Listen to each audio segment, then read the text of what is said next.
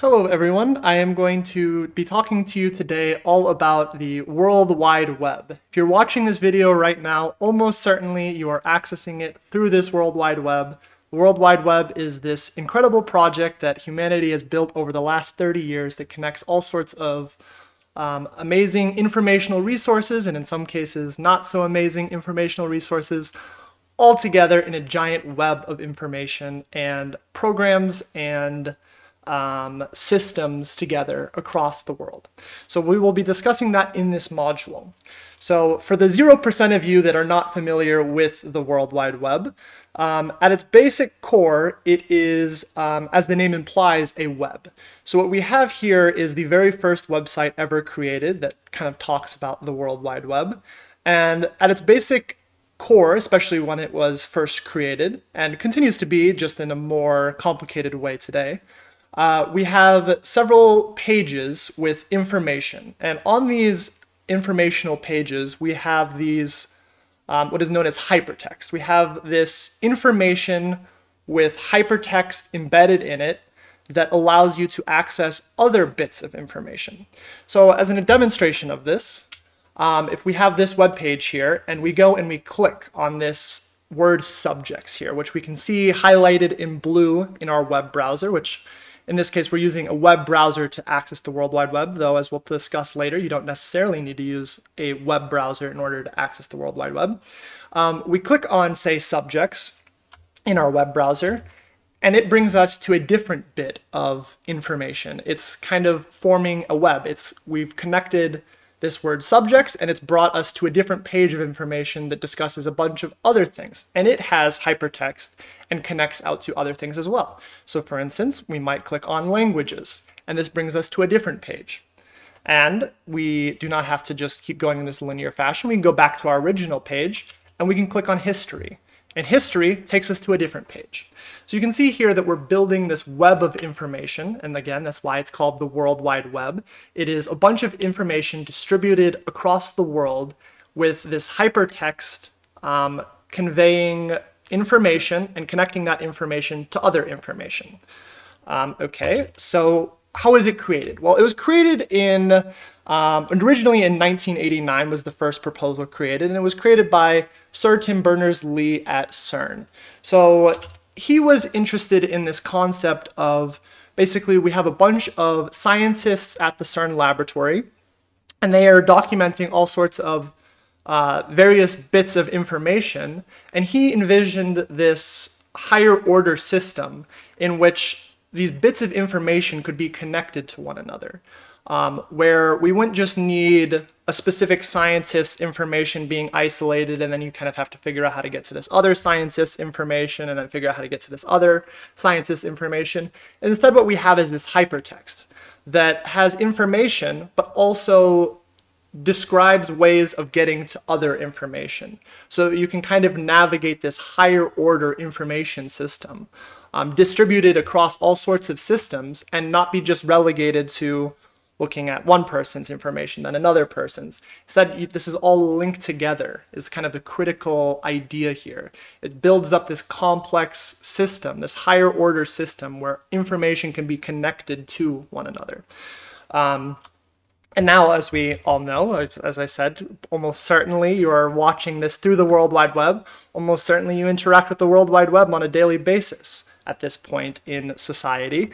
Um, there's a lot of websites. So it was first created, uh, the very first website actually was launched in 1991, though the proposal for it was in 1989. Um, the number of websites has dramatically expanded since 1991 when that first website that we were previously looking at launched. Um, all sorts of services and websites have been created, and at this point, 30 years later, 30 plus years later even, um, we're at nearly 2 billion websites. So uh, we've built this information system over the last 30 years that effectively conveys almost all of humanity's knowledge in some form or another, and then all sorts of other services, I'm sure, like, you know, in this case, we're looking at Facebook, YouTube, Instagram, Google, all these other services that launched on top of the World Wide Web. And they all have different purposes. You know, for instance, searching for information, the ability to search for videos, the ability to search for photos, to uh, connect with people, etc. All of these services are built on top of the World Wide Web, as I'm sure you're aware. Um, so how does this work? What does it mean to say that all of these uh, websites are out there, that we have this distributed higher order system connecting all this information together? How does that work?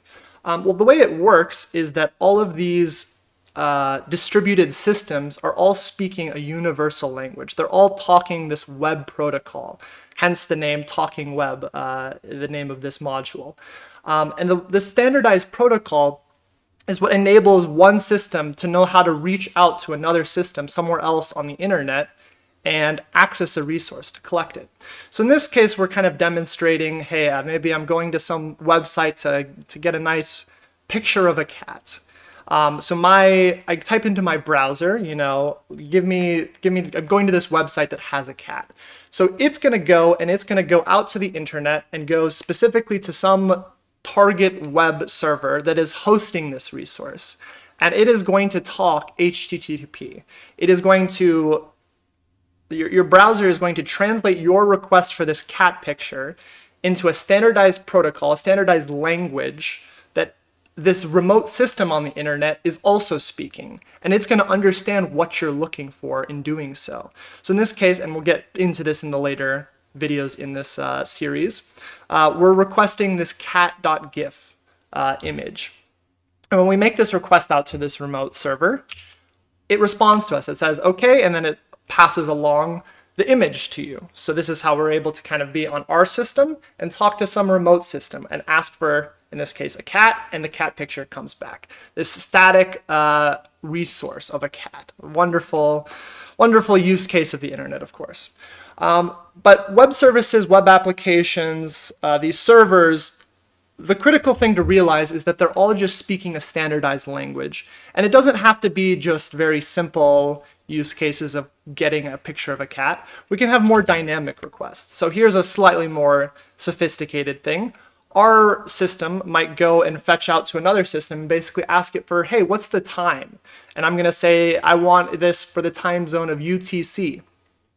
Um, well, the time is an evolving resource, right? It's, uh, it's not always the same time. It's not just a static thing. This remote web server can actually start doing computation to uh, return some result and do dynamic requests, dynamic responses.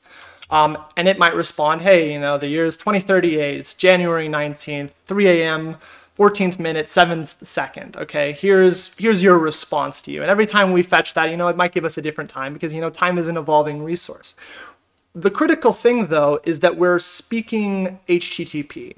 These systems are talking to one another over the internet and the World Wide Web living on top of the internet, uh, speaking this universal language of HTTP. And in order to understand this barrier between my system and another system, because all these web servers are is just another system, right? I have my computer, I have my laptop, my phone, and I want to make a request to some remote thing somewhere else in the world.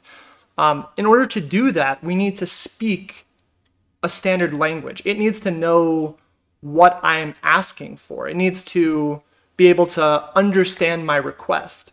So as humans, you know, normally interacting with the World Wide Web, right? We're not speaking HTTP. We're speaking, um, effectively what we're speaking is clicks on a web page, taps on a web page. Give me the next video. Uh, let me post this video to Instagram, etc.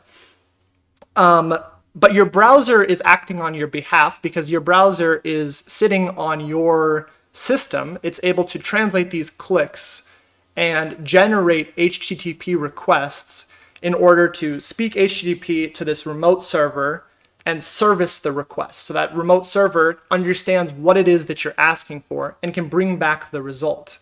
Um, so this is kind of the barrier between two systems is this HTTP protocol, this HTTP language. In order to understand how the World Wide Web really truly works, we need to understand the language that it is speaking. And that is what we are going to convey and discuss in the remainder of this series.